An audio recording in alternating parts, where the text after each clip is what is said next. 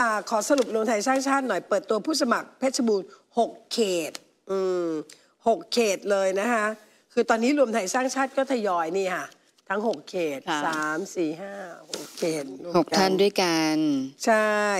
ตอนนี้เขาบอกว่าเอ่อให้ไปจับตาดูที่โคราช โคราชวันนี้คุณเอ่อเสกสกลบอกว่าเป็นแสนค่ะ ถ้าไม่เป็นแสนเธอโดนเลยนะ เราจะมีถ่ายทอดสดนะจ๊ะ ติดตามจากหน้าจอของเรานะจ๊ะ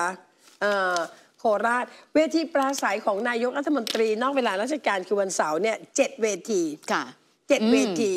นับจากโคราชนะ โคราชไปเราจะมีจังหวัดนี้เดี๋ยวเขาจะประกาศออกมาว่าเป็นจังหวัดไหนบ้าง นายกจะขึ้นเวทีปราศัยในโหมดที่เป็นนักการเมืองละวันเสาร์